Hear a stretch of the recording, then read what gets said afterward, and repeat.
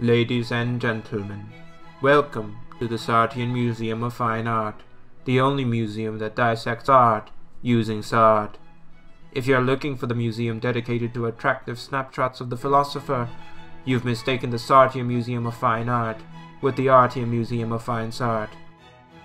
Today's digital tour will cover a wide swath of fine art from across the ages and attempt to analyze their genius. Let's begin. This first painting is titled Dinner at Haddo House, painted by the esteemed Edward Asmee. In what can only be described as a seductive pas de deux of composition and detail, Asmee depicts several bipedal mammals tucking their knees beneath slabs of dead trees as they eagerly await to fill their orifices with other dead animals while enjoying the company of several other bipedal mammals, some of whom with which they had once touched genitals.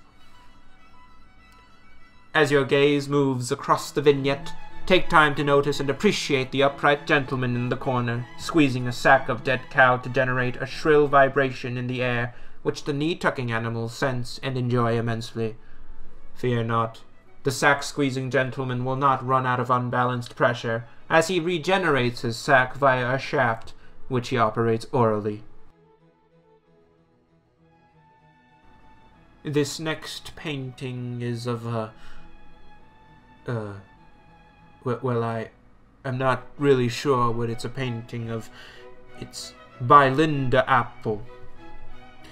Well, Miss Apple, you certainly seem to have grasped the art of the abstract. This painting appears to be of several brownish slabs. One can only assume they are of natural quality. And yet they are connected by a fugue of swirls so black, so bottomless. The shape resembles a sort of archway, and yet it is unlike any archway present in architecture. What is it? What is its purpose? Who are we? What is anything? These are the questions Miss Apple wants us to ponder as we gaze upon her masterpiece. Here we see a painting of... Uh, what's that you say? This is all wrong. This isn't how paintings should be analyzed. Well, my friend, I see you are well practiced in the art of bad faith. What is bad faith, you asked? Well, I just so happen to have a painting of one bad faith. What's that?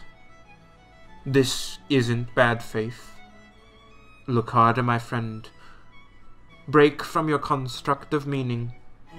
There is no reason this sad wraith can't be bad faith the fact that you don't understand is precisely the point. I thank you for joining us today at the Sartrean Museum of Fine Art. I sincerely hope our presentation has caused you to lose meaning and understand absolutely nothing. To see the Sartrean Museum's newest display of retail law enforcement artwork, please visit our sister museum, the Maltrine Copseum of Paul Blart.